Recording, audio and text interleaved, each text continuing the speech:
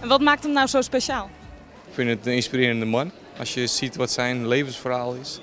Ik vind dat hij goed eh, en prima commentaar geeft. Ja. Voel jij je echt een fan? Ja, ik, ik heb het boek al een stukje gelezen en ik moet echt gewoon hardop lachen om, uh, om die quotes van hem erin. Waarom bent u zo populair?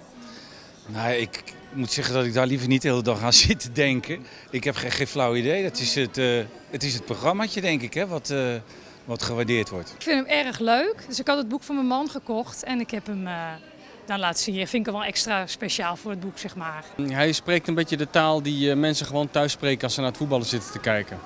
En hij brengt het met heel veel humor. En als hij begint te lachen, begint heel Nederland te lachen. Nou, we hebben een, een kaart bij ons voor een zieke collega. Die heeft hij even geschreven. Hij heeft wat geschreven in het boekje voor mijn zoon. En uh, ja, die krijgt een cadeautje. Dus daar heeft hij geluk mee.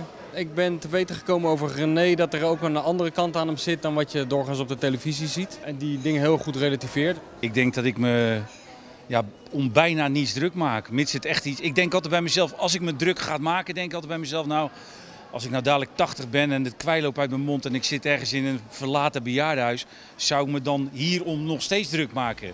En in 99 van de 100 gevallen denk ik nee.